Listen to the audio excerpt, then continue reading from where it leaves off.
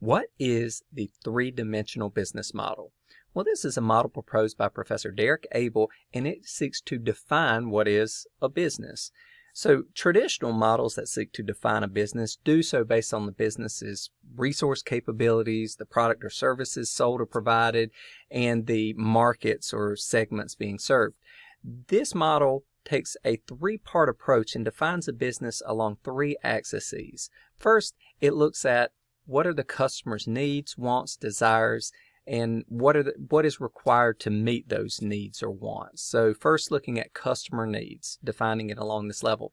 Next, identifying exactly who the customer is. What are their demographics, descriptions, details, segmentation of the market, if you will. So what are the needs and wants? What are the customer segments being served? And then how do you do it? What are the processes? What is uh, what are the efforts required, the supplies, the marketing, the technologies. And so all of this is bundled under the aspect of technology, but mainly it focuses on how value is delivered to these customers. So uh, who are the customers? What do they want?